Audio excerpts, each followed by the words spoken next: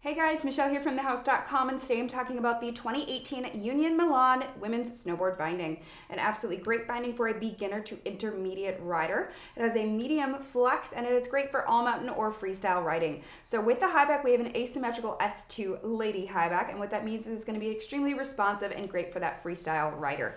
Now with the ankle strap, we have 3D ASIM technology, so it's going to be evenly distributing pressure throughout the entire strap. We have a combo toe strap and multi-density, multi-density thermoformed EVA bushing, so it's going to be extremely durable.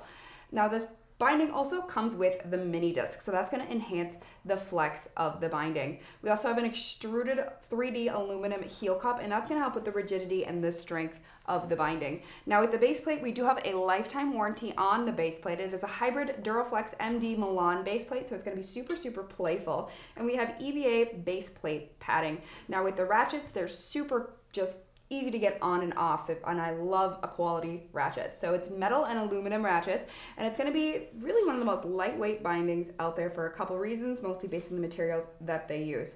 So like I said, there's a lifetime warranty on the base plate. However, with the binding itself, we have a one year manufacturer warranty. So you have a year to contact them with any issues that might arise with the binding.